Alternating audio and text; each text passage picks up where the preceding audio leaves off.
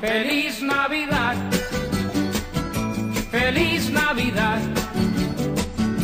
Feliz Navidad. Nos encontramos en esta tarde en el hospital y junto con los abuelos del geriátrico del hospital y los del Centro de Adultos Mayores para lo que es el armado del árbol navideño aquí en el hospital, un árbol renovado, nuevo, que ha propuesto Gladys Calderón. Eh, este árbol para el hospital y que sea con un armado compartido.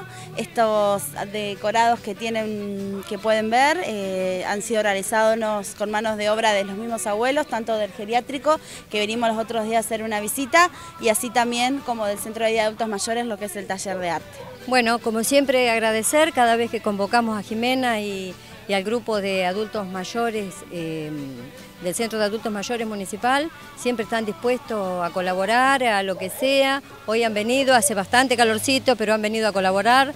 Todas cositas hechas con sus propias manos, con mucho amor. Así que bueno, esperando la Navidad. Algunos los encontrarán en el hospital, otros en sus casas.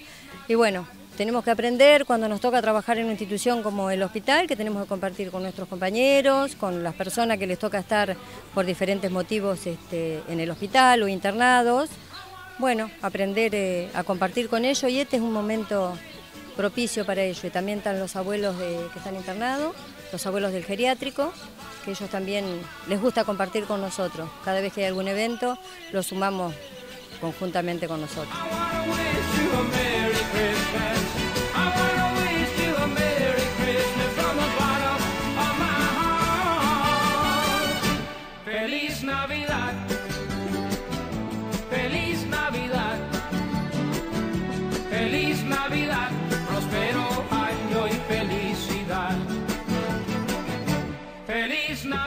Hemos empezado acá junto con Jimena y todas las otras chicas a colgar las cosas en el arbolito que se han preparado todos también allá en el centro de día.